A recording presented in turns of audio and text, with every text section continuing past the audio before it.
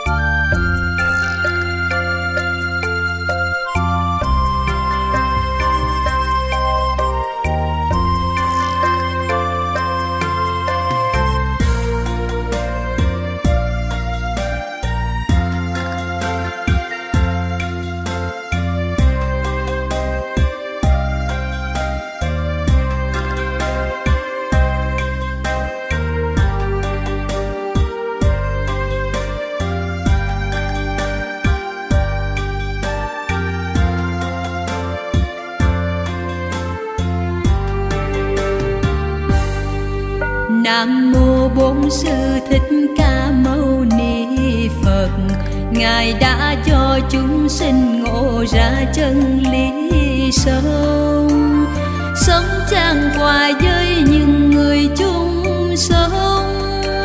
Sống là đồng nhưng lòng dân bất đồng. Sống là thương nhưng lòng chẳng dân.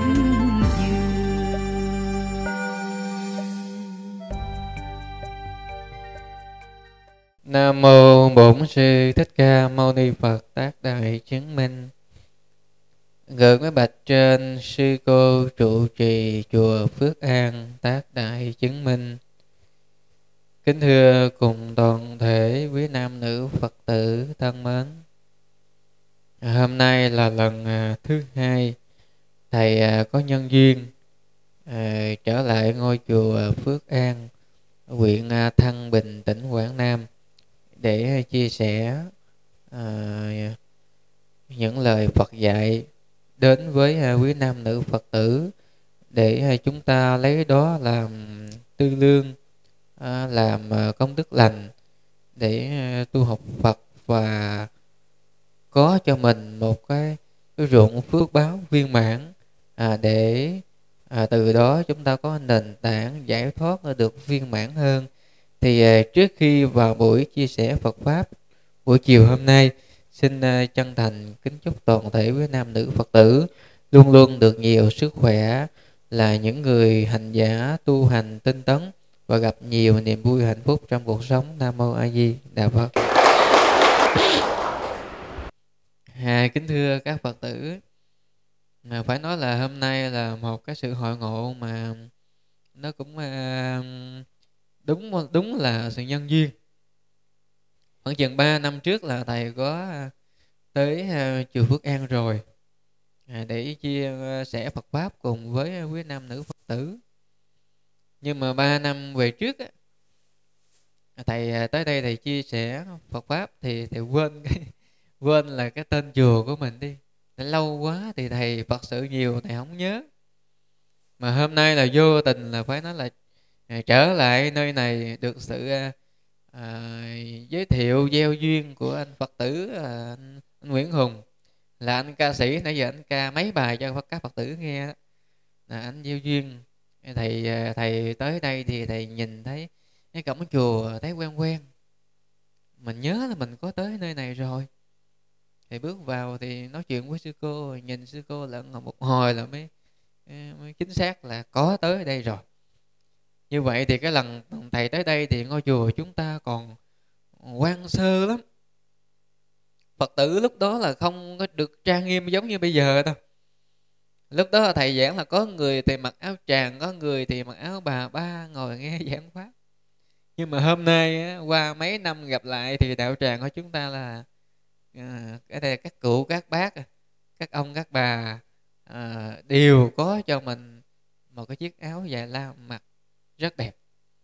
Và quý nam nữ phật tử à, trải qua thời gian mấy năm hôm nay thì cái sự tu tập của quý phật tử ở đây cũng được sự là nghiên cứu hướng dẫn chỉ dạy của chư tôn à, đức tăng ni à, rất nhiều rồi cho nên quý nam nữ phật tử đã à, ít nhiều gì cũng biết được phật pháp và đã có những thời khóa thời gian tu tập được an lạc được hạnh phúc rồi. Thầy rất là mừng bởi những cái, cái, cái điều vừa kể trên. Kính thưa quý nam nữ phật tử một ngôi chùa nằm giữa cánh đồng như thế này. Đối diện chùa là ruộng lúa mà hai bên xung quanh thì cũng ruộng lúa nhà dân thì ít. Mà quý phật tử về chùa tu tập thì phải đi đường xa xa xôi vào những ngày sám hối thì phải là sám hối ban ngày. Chứ sám hối ban đêm thì thì sợ các phật tử không có bất tiện quá đi. Ừ, cho nên sư cô phương tiện là sám hối lại phật vào ban ngày. Phải nói ở đây là một cái cái cái hành trang tu học phật uyển chuyển uyển chuyển, rất là hay. Và quý phật tử mỗi khi mà về sám hối thì cũng phải nói là à, bảy tám chục vị đây là một cái điều đáng mừng và cũng chứng tỏ được một điều rằng quý phật tử, chúng ta đã biết chúng ta là những người chịu tu rồi. Những người đã gieo cái duyên sâu dày với tam bảo, với đức phật rồi. Cho nên dù xa xôi, dù cách trở, dù đường xá khó đi, dù mưa gió hoặc là nắng gắt nhưng các phật tử vẫn dành cho mình một lượng thời gian tu học để gieo tạo cái phước lành để dung bồi cái âm đức. Đây là một điều rất là tốt. Thì các phật tử nên cố gắng phát triển cái căn lành này. Chứ chúng ta đừng bao giờ để thối chuyện. À, như vậy thì hôm nay à, chia sẻ cùng với quý nam nữ phật tử một cái bài giảng rất là dễ hiểu. À, với tựa đề là tại sao rằm tháng 7 là ngày xá tội vong nhân? À, xin kính mời các phật tử cùng lắng nghe. À, cái đề tài nghe các phật tử hiểu không? Tại sao rằm tháng 7 là ngày xá tội vong nhân? À, thường thường các phật tử là hay thích đi chùa vào những ngày rằm cũng như là ngày mùng một hàng tháng.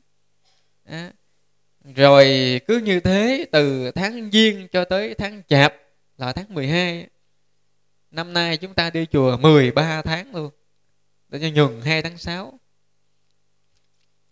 thì kính thưa các phật tử tại sao á? Là rằm tháng 7 là ngày xá tội vong nhân. Rồi những ngày rằm khác thì sao? À, các phật tử có khi nào tự mình suy nghĩ tự mình à, nghi vấn rồi rồi mình tìm ra cái lời giải đáp hay không à, có phật tử nào biết không ạ à? à, tại sao rằm tháng giêng rằm tháng hai rằm tháng 3, rằm tháng 4 rằm tháng tư là phải là Phật đản sanh đó. mà tại sao ngày đó không phải là ngày xá tội vong nhân mà phải đặc biệt là rằm tháng 7 đây là một cái điều rất là quan trọng. Thì xin thưa cùng các Phật tử rằng sở dĩ mà có ngày rằm tháng bảy cũng như là có cái cái cái, cái kinh vu lan để mình đọc hàng ngày với một ý nghĩa quan trọng thì các phật tử ở đây chắc đã biết rồi. Sở dĩ hôm nay mình tụng kinh vu lan ừ, mình biết kinh vu lan và mình biết sâu dày hơn nữa cái hạnh hiếu đối với những người như người con vừa báo hiếu đối với cha mẹ báo hiếu lên đức phật là do ngày xưa là một kiền liên đó. À, một kiền liên là phải nói là một vị thánh đệ tử. Là một người phải nói là rất là thông minh là những người có phước duyên.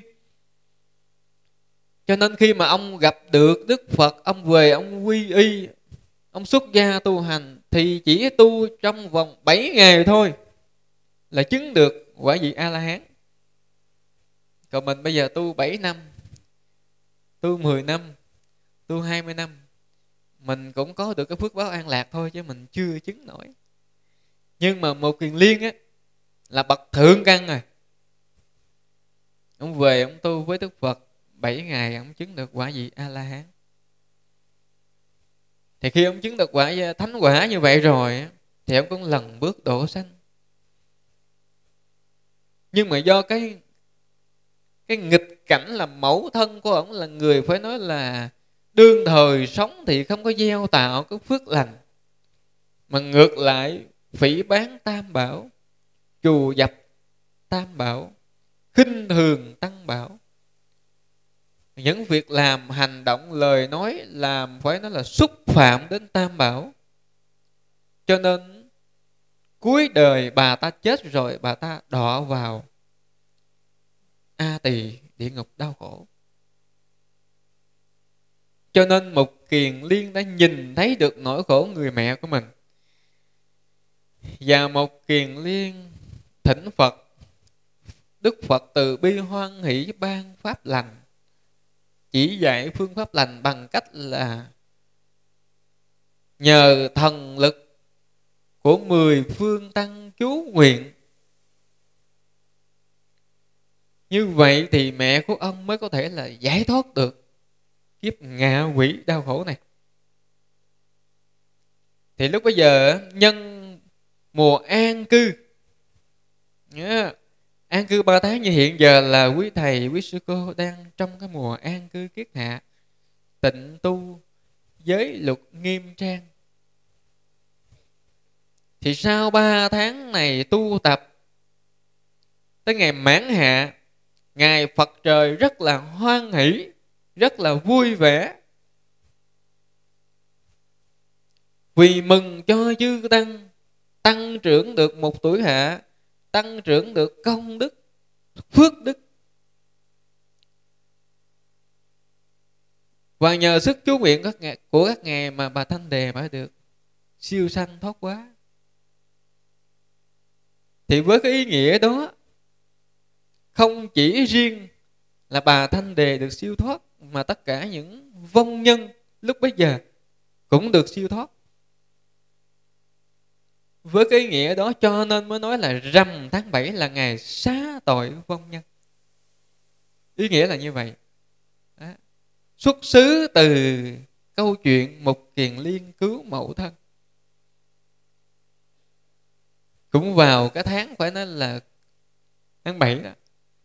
Cho nên cái hạnh hiếu của một kiền liên được đức phật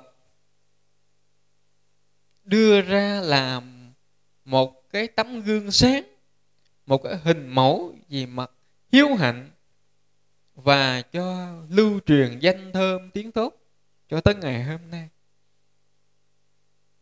Thì như vậy thì bây giờ chúng ta đã biết được tại sao rằm tháng 7 là ngày xá tội vong nhân rồi. Những cái rằm khác thì thật sự là một ngày rằm bình thường.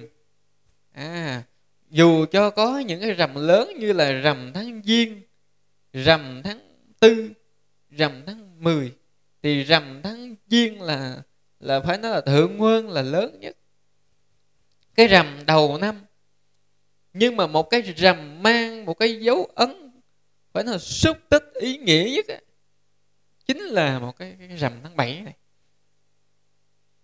Mà trong chúng ta thì ai cũng có tổ tiên ông bà ai cũng có quá khứ mẹ cha.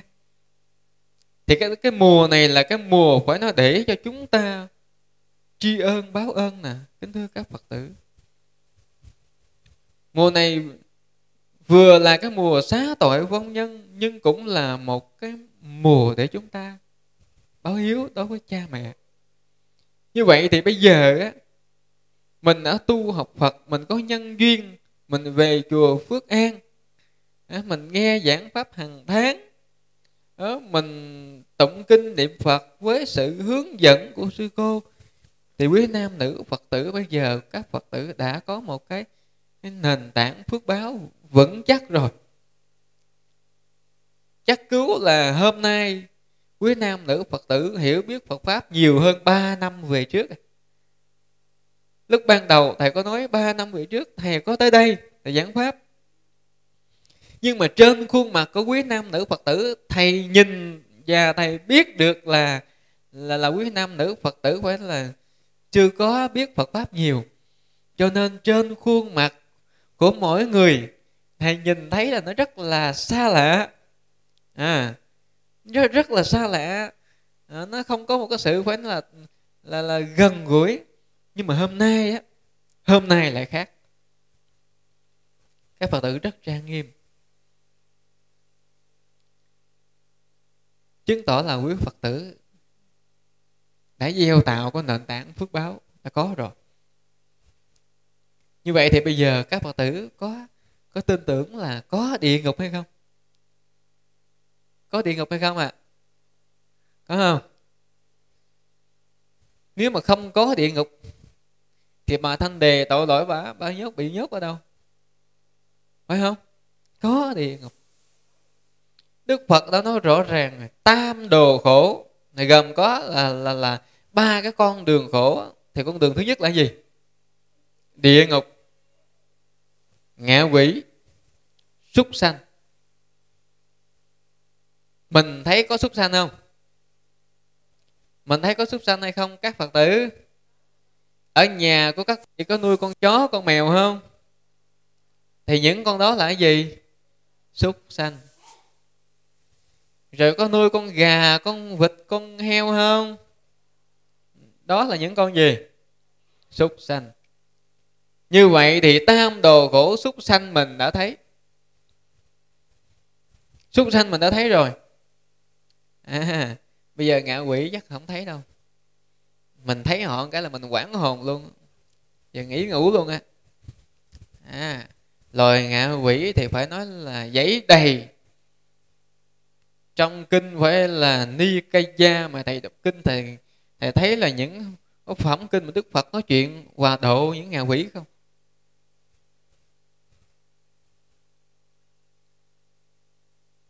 Và từ cái chỗ có cương hồn ngạ quỷ cho nên thường thường vào những buổi chiều á, là tất cả những ngôi chùa đều có ra để cúng mong sơn thí thực. Cúng cơm miệng á, thì đọc thần chú. Tâm á, là phải tưởng cơm nước cháo để cho họ ăn. Chiều nào cũng phải như vậy miệng đọc nhưng mà tâm tưởng. Đó, cho nên kính thưa các phật tử. Tại vì cái nghiệp của tất cả các loài cơ hồn ngạ quỷ có những cái cái cái loài mà ta gọi là à, bụng thì to cổ thì nhỏ. Mà phải tụng thần chú nhờ cái thần chú của mình của chư quý thầy quý sư cô đọc thì họ mới ăn được cái vật phẩm mà mình bố thí cho họ là cơm, cháo, gạo này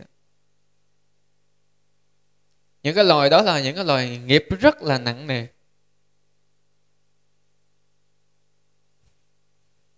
Phải dùng thần lực phải dùng cái sự chú nguyện cho nên các loài đó mới ăn được.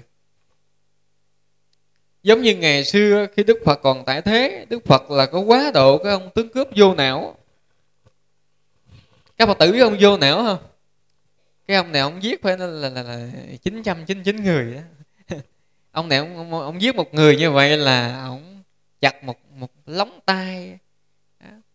Ông chặt một lóng tay để không phải nó là kết thành cái, cái sâu chuỗi thì cái ông này á ông giết người nhiều như vậy nhưng khi gặp phật xuất gia tu hành ổng chứng được quả vị a la hán nhưng cái nghiệp của ổng, á ổng gieo là ổng giết người cho nên cái tiếng quán cái hận thù á. Nó chất chồng là nhà nào cũng biết. Nhưng mà khi cuối khi là phải là ông giác ngộ xuất gia rồi thì à, mọi người thì cũng nể phật. Và cũng nể lúc bây giờ ổng là một vị thầy tu rồi. Một vị chứng quả thánh quả rồi. Cho nên không ai làm khó, dễ gì ông hết. Nhưng ngặt một điều là ông đi khất thực, ông đi xin ăn á, không ai cho hết. Chứng thánh quả rồi á, nhưng mà đi khất thực không ai cho. Lý do làm sao không cho, các phật tử biết không? Biết sao không cho không? Tại vì ổng đi tới đâu, người nào nhìn ổng cũng cũng ghét ổng hết.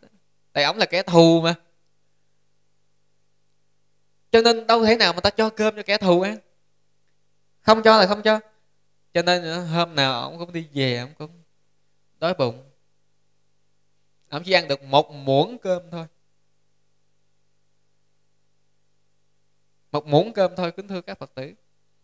Mà muỗng cơm đó là phải nhờ nhờ là một kiền liên hoặc là nhờ xá lễ phất dùng thần lực à, để che chở cho ông họ mới ăn được cái muỗng cơm đó vào trong bụng. Để mà ông kéo dài sinh mạng. Thì tới cái ngày mà ông sắp sửa lâm chung nhắm mắt đó, thì cũng tiếp tục, xá lợi phất thương ông quá. Biết ông này là sắp mất rồi.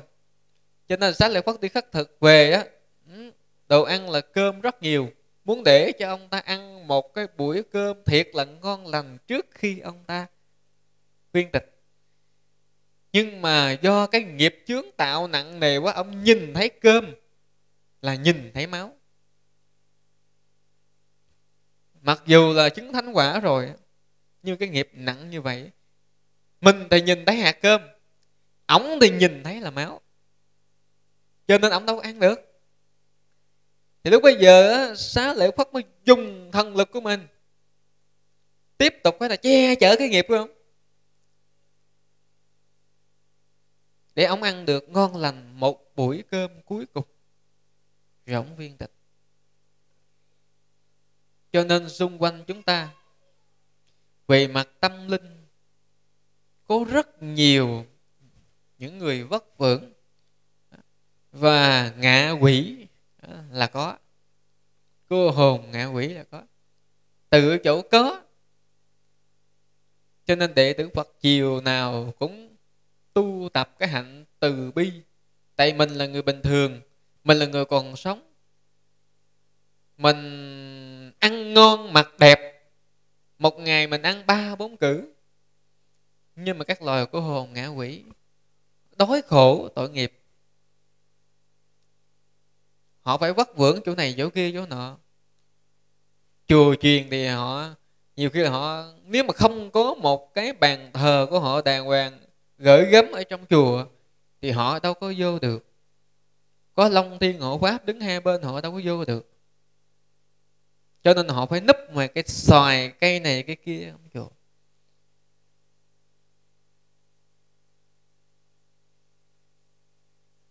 Vì thể hiện tấm lòng từ bi của người con Phật cho nên chiều nào cũng cúng mong sơn để được cho họ ăn. Địa ngục, ngạ quỷ, súc sanh tam đồ khổ đây. Thêm một câu chuyện nữa. Các phật tử có tụng kinh a di đà không? À, thì đầu tiên đức phật thuyết pháp cho ai nghe nè trong kinh a di đà đó. À, trưởng lão xá lợi phất ma một kiền liên ma ha ca diếp ma ha ca chiên viên. À, ừ, à, xá lợi phất một kiền liên. À, a nan a nan đà la hồ la vân vân à, các phật tử có nhớ không? A nan rồi a nan đà. À, ông a nan và ông a nan đà hai ông này là anh em chú bác với đức phật. Thì có lần á đức phật quay trở lại hoàng cung và nhìn thấy được cái người em họ của mình chính là ông a nan đà nè. Đó là thấy ông này là ông có cái căn duyên để ông tu hành nhưng mà lúc đó là ông có một cái cái cái, cái hôn ước rồi. À, ông có cái lễ đính hôn với một cái cô phải nói là công chúa rồi. Là ông sắp sửa cưới á. Thì đức phật biết là ông này có cái căn tu và ông này á độ ổng là ông sẽ sẽ tu hành đắc quả mau lắm. Cho nên á đức phật không nói gì hết. Nhân cái ngày đám cưới của ông đức phật đi về hoàng cung. À về hoàng cung để độ ông à, thì dù sao đức phật cũng là người anh mà. Cho nên đức phật về bằng cung. Thì sau khi mà mà, mà thọ nhận cái vật phẩm cúng dường xong xuôi rồi đức phật cố tình là đưa cái bát trong a nan đà này ông cầm. À, đưa cho ông cầm. Thì đức phật nói là dạ, ông cầm cái bát giùm ta. Giờ đức phật đưa cái bát ông cầm. Thì đức phật đi thì ông phải đi theo. đức phật đi là ông đi theo ông ôm cái bát đi theo đức phật hoài vậy đó. đó thì khi mà đi, đi như vậy rồi tới một cái đoạn đường đức phật ngồi xuống đức phật phải nói là dẫn dắt ông a nan đà này đi đó là đi tham quan thiên cung nhưng mà trước khi đi tham quan thiên cung á đức phật á à, mới ngồi xuống nghỉ chân hỏi ông a nan đà này á này ông a nan đà có nhìn thấy một bầy khỉ đằng kia không? À, lúc bây giờ ông a nan đà ông nói dạ bạch đức thế tôn con nhìn thấy. Lúc bây giờ đức phật mới hỏi như vậy thì ông cho ta biết à, giữa mấy cái con khỉ cái đó đó. À, với cô vợ của ông mới vừa cưới đó là phải nói ai đẹp hơn ai? Ông a ông a nan đà lúc bây giờ ông nói bạch đức thế tôn dĩ nhiên là vợ của con đẹp hơn mấy con khỉ cái đó rồi. À vậy ha. Rồi được một chuyện. Lúc bây giờ tiếp tục đức phật dùng thần thông dắt ông a nan đà này lên cõi thiên cung à, dạo quanh một vòng. Thì khi ông dạo quanh một vòng ông nhìn mấy vị thiên nữ đẹp quá à quá đẹp luôn là thiên nữ mà. Ta nói là, phải nói là thiên nữ là quá đẹp rồi. Sắc nước hương rời à. lúc bây giờ đức phật tiếp tục hỏi ông, này ông a nan đà nhan sắc của các vị thiên nữ này so với vợ ông thì sao? Dạ kính bạch đức thế tôn các vị thiên nữ này mà so với vợ con thì vợ con phải nói là xấu giống như mấy con khỉ cái kia á. À, thua xa vậy đó. À, thiên nữ này quá đẹp. À rồi. Lúc bây giờ nếu như ông muốn về trên này thì ông phải tu tập cho thiệt giỏi. Ông mới về trên này phải nói là ông có rất nhiều người đẹp hầu hạ cho ông. Ông phái liền. Ông phái cho nên ông tỉnh hồn nói chứng này chắc về phải là tu tập tu tập để lên cõi chư thiên này hưởng phước. Nhìn qua, nhìn lại, người đẹp không? Tôi tình gì ở nhân gian. Khổ. Cho nên phải tu tập cho giỏi mới được. Nhờ tiếp tục đức phật dắt ông xuống phải nói là cái cõi địa ngục. Để nhìn thấy những chúng sanh đang bị tra hình cực khổ đọa đài. Lúc bây giờ ông vừa đi mà ông vừa sợ. Vừa đi run run run à, đi rung rung. Rồi á rồi gặp gặp hai hai cái vị cai ngục. À, hai cái vị cai ngục này đứng canh đứng hai bên của một cái ngục đó mà cái ngục đó không có tội nhân. Trong cái ngục đó à, phải nói là không có một tội nhân nào hết nhưng mà nhìn cái cái cái, cái cảnh cái cái cái mà cực hình của nơi đó thì rất là khủng khiếp. Thì hai vị cai ngục mới đứng hai bên và lúc bây giờ cái ngài a nan đà mới hỏi hai vị cai ngục á ở sao tôi đi ngang chỗ nào tôi cũng thấy có ở có có những chúng sanh bị tra hình cực khổ mà đi ngang cái ngục này, sao thấy có hai vị cai ngục mà trong đó không thấy ai hết? Thì lúc bây giờ hai vị cai ngục mới nói á, là hai đứa của chúng tôi đứng đây để chờ cái ông a nan đà ông hưởng phước hết cõi nhân thiên rồi ông rớt xuống đây. À ông sanh xuống chỗ đây. À, tụi tôi mới tra hình tra tấn ông. Ông nghe ông giật mình liền. Ông nghe giật mình lúc bây giờ ông ông thôi tức cái tôn mà thôi thôi về về. Về dương gian này. Về dương gian lúc bấy giờ ông mới chịu ngộ đạo ông xuất gia ông tu hành. Chứ không thôi là cái tham vọng ông là tu. À, tu để mà về cõi chư thiên hưởng phải nói là nhan sắc của mỹ nữ cho nó đẹp. Nhưng mà khi nghe hai cái ông cây ngục nói là cái phòng này tôi chờ ông a nan đà ông hết phước rồi ông, rớt xuống đây à, tôi tra hình ông, ông bán hồn ông sợ. Cho nên ông ông về cõi dương gian xin đức phật xuất gia luôn. Và tu hành chứng đắc được thánh quả. Cho nên trong kinh a di đà mỗi khi mình đọc đó a nan a nan đà la hầu ra. Đó. Tên của những bậc cao tăng thời đó. Như vậy thì, kính thưa các phật tử, tam đồ khổ, địa ngục, ngạ quỷ, súc sanh. Đây là ba cái con đường khổ cho nên gọi là tam đồ khổ. Mà mình tu học phật, nhờ cái phước tu học phật, mình sẽ thoát được ba cái con đường này dù cho mình tu ở mức độ trung bình thì mình cũng được sanh lại cõi cõi làm người này. Còn thí dụ như mình biết Phật pháp mà mình dụng đường tu á mà mình mất đi rồi á sợ cái nghiệp cái tội của mình nó nhiều cái phước á, thì tam đồ khổ chắc chắn sẽ chờ mình.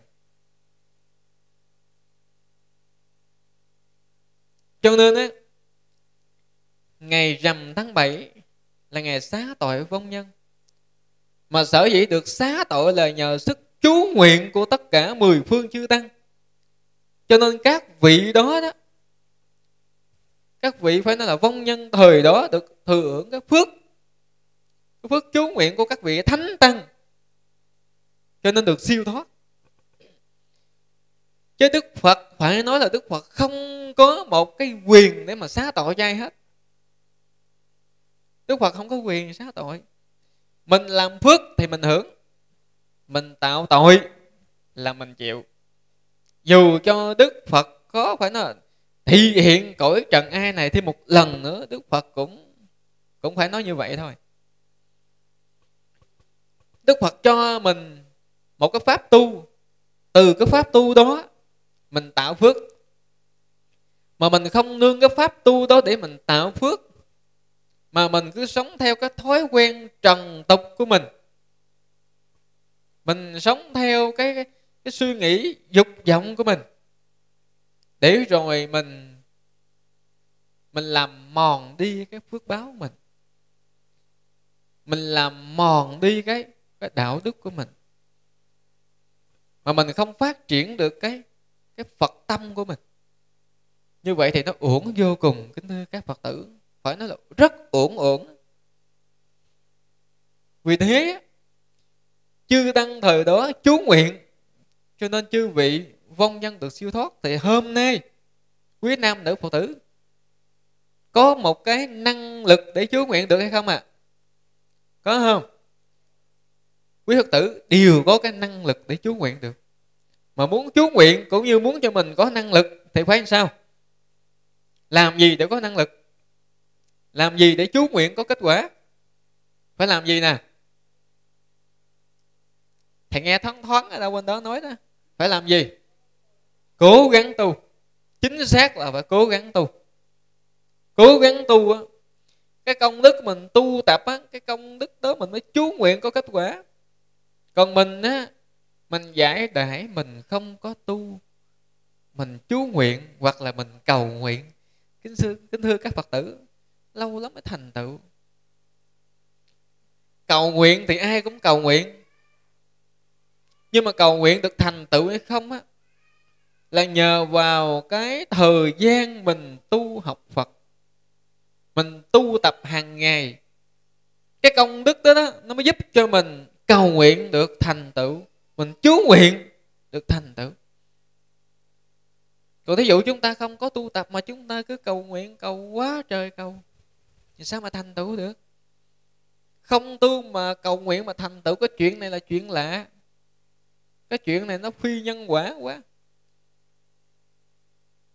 Cho nên các phật tử có khả năng à, có khả năng để phải nói là mình mình chú nguyện mình cầu nguyện một cái việc vì đó được thành tựu có khả năng. Nhưng mà để cho cái khả năng nó được thành tựu thì hiện bây giờ, các phật tử phải tự bản thân mình, rèn luyện cho mình, tự cho mình vạch ra cho mình một thời khóa tu tập. Và cái thời khóa đó là phải nhất nhất. Mỗi một ngày từ sáng cho tới chiều tối không lẽ là không có một cái lượng thời gian nào để cho các phật tử rảnh hết sao? Không lẽ lúc nào chúng ta cũng bận biểu hết? Hay vì sáng sớm mình ngủ cho tới là phải 6 giờ 7 giờ mình thức. Thì thôi giờ, ráng cố gắng ngủ tới 5 giờ thức được rồi. 5 giờ thức dậy, ngồi niệm Phật liền cho thầy nửa tiếng đồng hồ năm giờ rưỡi gia tập thể dục chạy tới chạy lui chạy bộ cho nó khỏe khoắn mình vừa được có phước này à, rồi buổi trưa trưa trưa trưa nè nhiều khi mình nhớ tới Phật mình niệm khoảng chừng 10 phút. Chiều chiều nhớ tới Phật niệm 10 phút. Tối tối trước khi ngủ ngồi niệm 15 phút 20 phút nửa tiếng một tiếng niệm càng nhiều thì phước của mình nó càng nhiều. Thì trải qua một ngày, một tháng, một năm, hai năm, ba năm năm năm, mười năm, công đức mình có rồi. Lúc bây giờ chúng ta phải nói là có quyền chúng ta cầu nguyện, chú nguyện đây. Và các phật tử có thương ông thương ông bà cha mẹ mình không? Có thương không? Các vị có biết hiện giờ tổ tiên ông bà của mình sanh về cõi nào không? Biết không? Hoàn toàn không biết chỉ biết là họ chết rồi, họ mất rồi. Chỉ biết vậy thôi. Còn họ có sanh về thế giới an lành hay là sanh vào trong tam đầu khổ, thật sự mình cũng không biết. Cho nên quý nam nữ phật tử, cái mùa này là mùa báo hiếu, mà đã nói là mùa báo hiếu là cái mùa xá tội vong nhân. Thì muốn được những vong nhân được xá tội thì người thân của họ phải tu tạo phước lành hồi hướng cho họ, thì họ mới được siêu thoát chứ còn mình thiếu đi cái sự tu tập mà mình cầu nguyện, thì cái sự cầu nguyện này cũng chỉ là một cái sự cầu nguyện thôi. Cho nên quý nam nữ phật tử thương tổ tiên ông bà cha mẹ, thì các vị phải có những thời khóa tu tập cho nó hết sức là trang nghiêm để hồi hướng cầu nguyện cho tổ tiên ông bà được siêu thoát. Đây là một pháp lành thiên liêng cao cả nó mang đậm tính chất phải nói là hiếu thảo. Mình biết tu tập, mình biết cầu nguyện cho tổ tiên ông bà mình được siêu thoát là mình đã trả ơn phật. Mình biết tu tập những hạnh lành để cho đời sống gia đình được bình an, được hạnh phúc là mình đã trả ơn phật rồi. Các phật tử nên nhớ cái điều đó. Tại vì á, mình biết tu tập là mình đã thực hành theo lời phật dạy rồi. Bản thân cá nhân được an lạc người thân được an lạc như vậy là hạnh phúc lắm rồi. Như vậy là bình an rồi. Cho nên kính thưa quý phật tử cho nên thầy mới nói là tại sao ngày rằm tháng 7 là ngày xá tội vong nhân? Còn những ngày khác những ngày khác thì, thì sao? Những ngày khác nó không có ý nghĩa bằng cái ngày rằm tháng 7 vì rằm tháng 7 là cái cột mốc quan trọng trước cái sự hiện diện của một kiền liên cứu khổ mẫu tân của mình nơi chốn a tỳ địa ngục. Cho nên câu chuyện nó được truyền lưu cho tới ngày hôm nay, hạnh hiếu nó được phải nói là truyền lưu cho tới ngày hôm nay. Và trong mỗi người tu phật của chúng ta, ai cũng biết được cái mẫu chuyện này và ai cũng có một cái sự khao khát là tu học để, để giải thoát. Và ai cũng sợ bản thân mình đọ vào chúng tam đồ đau khổ như thế. Thì mình sợ thì mình phải biết biết tu. Nếu như mình sợ mà mình dụng đường tu thì coi như là chúng ta tan vỡ ước mơ. Sanh ra cái thời này, chúng ta được tới một ngôi chùa, phải nói là tu tập như thế này đã là cái phước cái duyên dữ lắm rồi. Phước duyên lắm mới gặp tam bảo. Có những người phải nói là thiếu phước đây. Mà sanh ra không gặp phật pháp. Sanh ra không biết phật pháp cho nên cuộc sống của họ chỉ cứ biết là ngày đi làm, lớn lên có chồng, có vợ, sanh con đẻ cháu, và cứ như thế làm lụng qua ngày cái ăn, cái mặc. Như vậy là tới mãn đời như là xong. Không biết gì về tinh hoa của phật pháp. Không có biết gì phải nó là tội lỗi, phước báo mà chỉ nhìn với một cái nhìn hết sức là hạn chế, cạn cợt bình thường, chết là hết.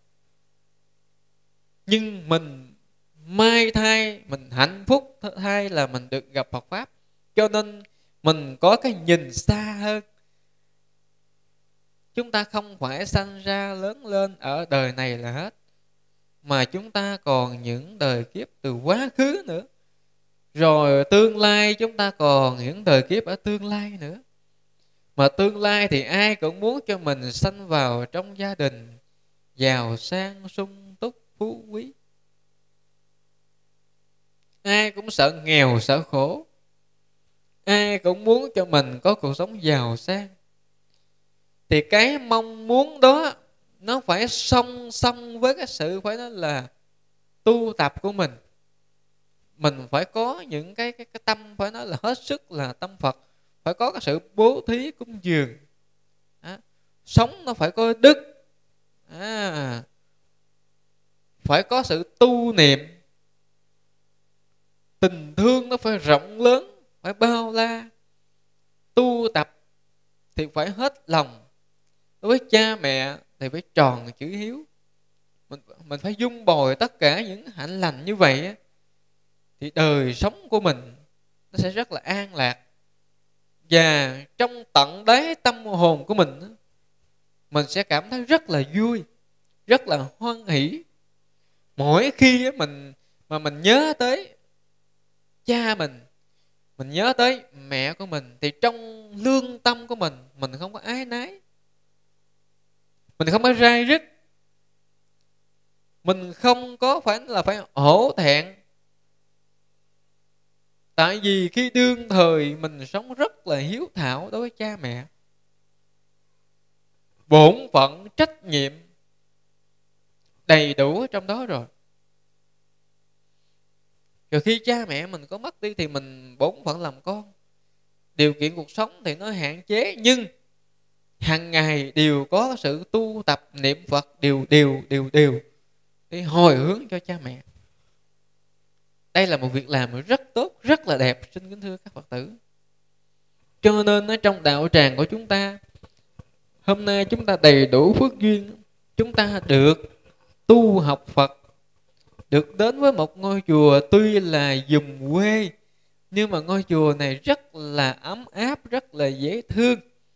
À, quý phật tử về đây tu tập thì phải nói là thầy thầy thấy là thầy rất là vui thầy rất là mừng vì chúng ta đã biết phật pháp và đã phát triển được cái căn lành này sâu dày rồi. Và cũng là những người phải nói là thâm nhập Phật pháp cũng phải nói là sâu dày luôn đó cho nên đây là một điều đáng mừng. Khi mình biết tới Phật pháp rồi á thì sống giữa xã hội muôn màu muôn vẻ này mình sẽ sợ cái cái cái cái, cái tội và mình biết cái, cái cái cái phước để mình phát triển. Còn nếu như mình không biết Phật pháp á, sống ngoài xã hội mình thấy yêu cầu miễn có cái, cái gì có lợi cho mình là mình làm. Còn cái ảnh hưởng của nó cái tác hại của nó cái hậu quả của nó nhiều khi mình không để ý tới. Cho nên kính thưa quý nam nữ phật tử đã biết phật pháp rồi là chúng ta đã có phước. Quý phật tử những người mà chịu ngồi đây nghe pháp là các phật tử đã có phước rồi. Chúng ta nhớ ha chúng ta đã có phước rồi. Thì chúng ta làm sao mà để cho cái phước này nó được càng ngày càng phát triển? Cái này mới là cái chuyện khó. Nói là khó nhưng chúng ta có cái một cái cái, cái, cái, cái tâm kiên cố để tu tập thì nó không có khó. Chỉ sợ mình dễ để hôm nay chúng ta tu ngày ngày mai ngày mốt ngày kia chúng ta lặng. À, một tuần lễ 7 ngày chúng ta tu hai ngày chúng ta lặng ít 5 ngày. Tu như vậy thì công đức phước báo nó không có bền nó không có nhiều. Mà trong lòng chúng ta thì mong cầu chuyện gì nó cũng tốt với mình hết. Trước khi mình mong cầu cái việc tốt đến với mình thì mình phải tu tập tốt ha, các ngoại ha. Mình phải tu tập tốt. Thì mình mới có cái kết quả tốt. Tại nhân nào quả nấy mà xin kính thưa các phật tử. Nếu ngày xưa đức phật thích ca mà mà tu không tốt thì sao ông thành phật được? Ông tu 11 năm phải nói là ông không chứng ngộ phật pháp. Ông buồn dữ lắm chứ. Cho nên ông phát nguyện phải là ông ngồi dưới cội bồ đề ông ngồi ở nơi này dù cho thịt nát xương tan, nếu không thành đạo là sẽ không bao giờ rời gốc cây bồ đề này. Từ chỗ ông phát nguyện mạnh mẽ như vậy, cho nên ông trả, ông thành đạo. Và nhờ sự thành đạo của đức phật thích ca, mà hôm nay thầy trò của chúng ta biết phật pháp mà tu hành. Nhờ sự thành đạo đức phật thích ca, mà ông một kiền liên, ông được gặp phật, ông tu. Và cái hạnh hiếu của ông là một cái cái hạnh lành phải là sáng ngời. Cho tới bây giờ chúng ta phải nói là có kinh vu lan chúng ta tụng. Mà khi mỗi khi chúng ta tụng kinh vu lan á, mỗi một câu nó trôi qua, mỗi một cái câu trôi qua, rồi mỗi một ngày như vậy trôi qua, ngày nào mình cũng có tụng kinh vu lan, thì mình sẽ thâm nhập được lời kinh này và mình thấy được cái nỗi khổ của, của những người làm cha làm mẹ và thấu cảm được cái sự thương con của những bậc làm cha làm mẹ. Thương con như thế nào? À, thì bây giờ các phật tử là những người phải nói là có con có cháu thì mình biết mình cảm nhận được rồi mình đã cảm nhận được tình thương của mình đối với con của mình như thế nào. Mỗi khi nó đi làm mà, mà về khuya quá mình cũng lo lắng bồn chồn.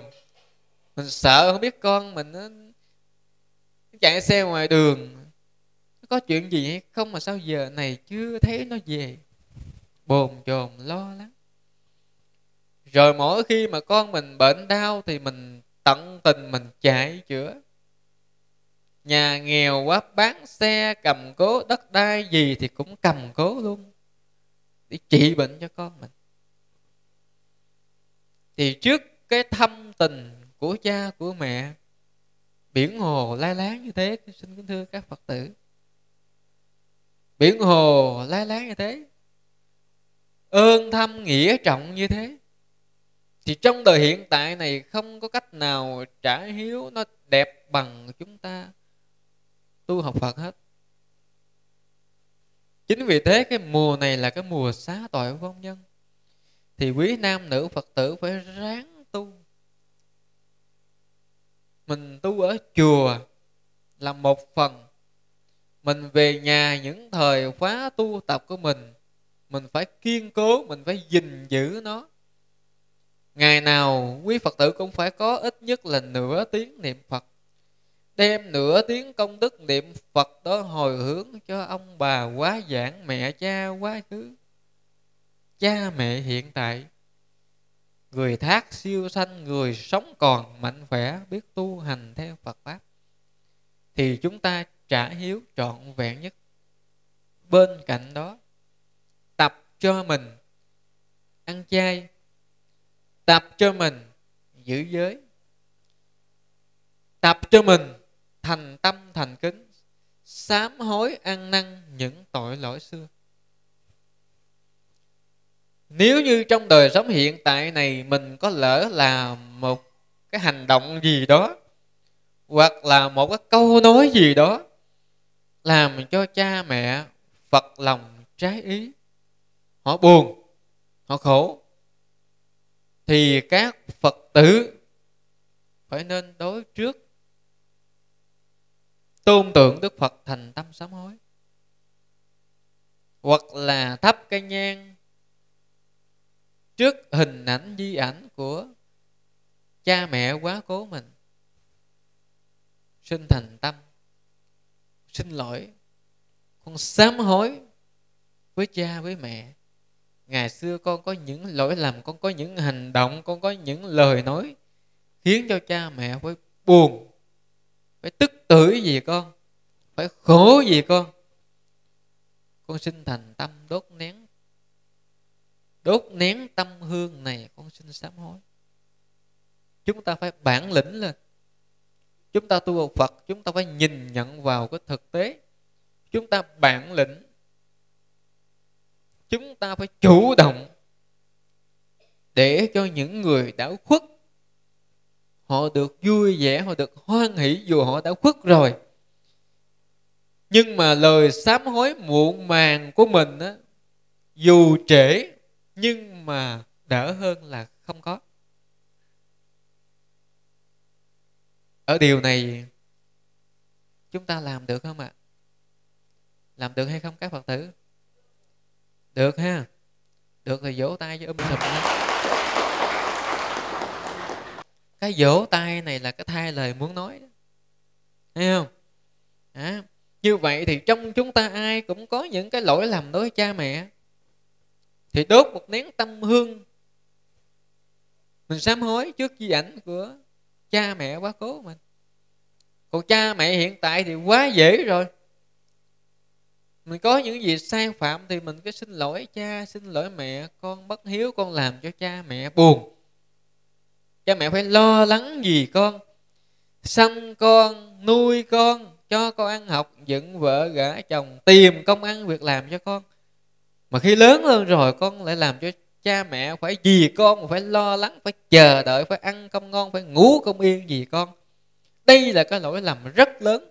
Đây là cái sự bất hiếu của con. Con xin thành tâm sám hối trên cha trên mẹ mình tu học phật, mình phải bản lĩnh như vậy, kính thưa các phật tử. Như vậy thì chúng ta mới xứng đáng là những người mặc cái chiếc áo lam này trên người của mình. Vì mặc chiếc áo lam trên người của mình á, mình là người đệ tử phật, mình là người tu sĩ tại gia. Mình là người đạo đức, dám ăn, dám nói thì đã nói là dám ăn dám nói thì tội lỗi mình. Phải chấp nhận chứ. Sai lầm thì ai cũng có. Đó là một cái điều rõ ràng. Nhưng mà chúng ta cố gắng à, chúng ta cố gắng chúng ta sửa sai và đồng thời quan trọng hơn nữa là hôm nay là chúng ta nghe cái tựa bài giảng là tại sao rằm tháng 7 là ngày xá tội vong nhân? À, thì với cái tựa đề này chúng ta đã biết được cái nguyên nhân là từ câu chuyện của mục kiền liên và cũng nhờ sức chú nguyện của mười phương chư tăng mà mẹ của ông được siêu thoát những vong linh thời đó được siêu thoát. Thì ngày hôm nay mình nương theo cái tích chuyện ngày xưa mình cố gắng mình tu tập để những cái ngày tháng mình tu tập mình vun bồi phước báo khi công đức ruộng phước nhiều rồi mình đem cái công đức ruộng phước đó mình hồi hướng cầu nguyện cho tổ tiên ông bà được siêu thoát cha mẹ hiện tiền tăng phước tăng thọ.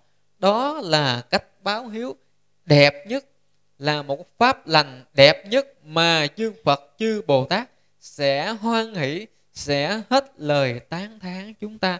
Và khi mình làm được, được như vậy á, thì phước báo của chúng ta rất nhiều. Và trong quá trình tu học Phật giải thoát chúng ta sẽ gặp rất nhiều thiện duyên.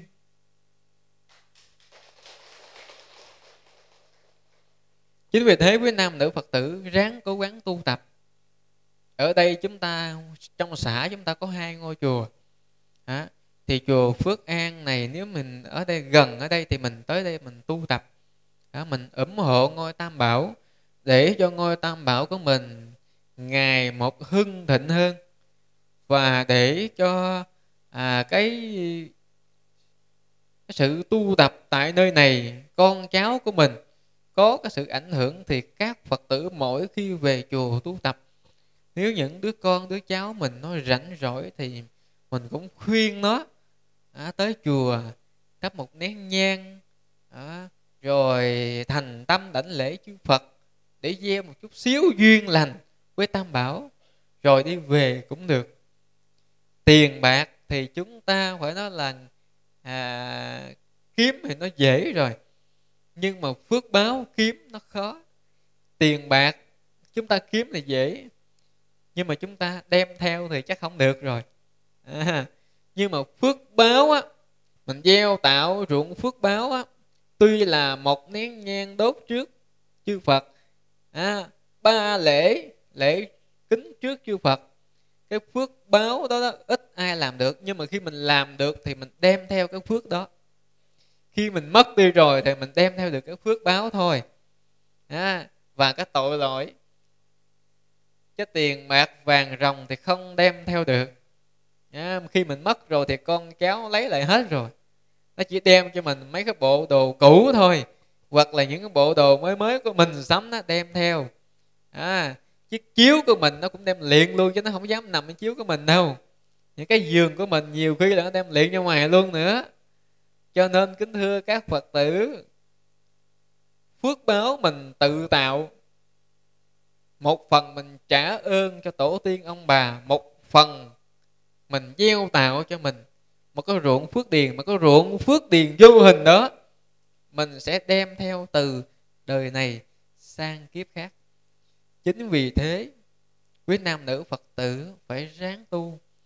Vì xung quanh chúng ta là ơn ơn nghĩa nghĩa rất nhiều. À, ơn ơn nghĩa nghĩa rất nhiều mà mình muốn trả ơn trả nghĩa thì không thể nào trả hết được. Với cái sức lực điều kiện cuộc sống không thể nào mình trả hết được mà chỉ có là mình niệm nam mô a di đà phật hoặc là trì chú thiên thủ thiên nhãn hoặc là trì kinh tụng kinh những cái phước báo đó đó mới giúp cho mình mau chóng trả hết những cái ơn nghĩa trong hiện tại này và ở quá khứ. Chính vì thế, tu học phật là phước báo vô lượng. Tu học phật là trả ơn, trả nghĩa, trả hiếu viên mãn nhất. Và cũng chính vì thế cho nên quý nam nữ phật tử ráng cố gắng, đã có duyên với tam bảo rồi, thì thường ngày phải siêng năng phải tinh tấn phải tu tập. Ngày nào cũng có sự tu tập hết. Ở cái điều này quý phật tử chúng ta làm được hay không? Làm được không? Rồi làm được thì các phật tử ráng cố gắng. Một ngày như vậy 10 phút niệm phật cũng được nữa. Nhưng mà phải điều điều ngày nào cũng có. Chứ không phải là tu chúng ta ngập lặng nghe các phật tử. Nha yeah. thì à, xin kính thưa các phật tử. À, qua gần một tiếng đồng hồ chia sẻ cùng với à, quý nam nữ phật tử à, với bài pháp thoại là à, tại sao rằm tháng 7 là ngày xá tội vong nhân? Thì quý nam nữ phật tử đã hiểu đã biết rồi. Thì kính mong quý phật tử ráng cố gắng nỗ lực tu tập để à, chúng ta có được cái sự an lạc trong hiện tại này và hạnh phúc ở tương lai. À, một lần nữa xin kính chúc toàn thể đạo tràng quý nam nữ phật tử mãi mãi là những người con hiếu thảo. Mãi mãi là những người đệ tử phật, tu hành tinh tấn, tu hành giỏi. Và khi lâm chung nhắm mắt xin cầu nguyện tam bảo cho họ cho quý nam nữ phật tử, ai ai cũng được sanh về cõi phật. Và chúng con cũng xin thành tâm thành kính. Ngưỡng nguyện hồng ân tam bảo gia hộ cho sư cô trụ trì. Luôn được pháp thể kinh an, chúng sanh như độ.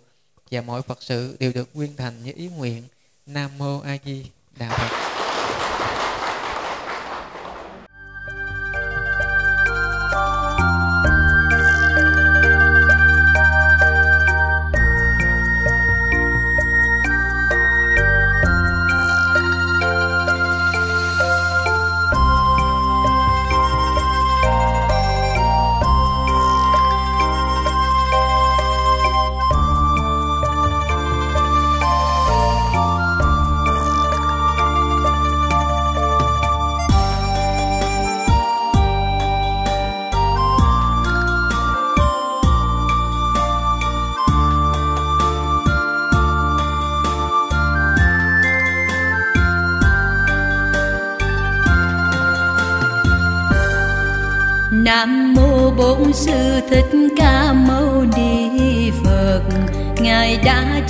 chúng sinh ngộ ra chân lý sống. Sống không giận không hờn không oán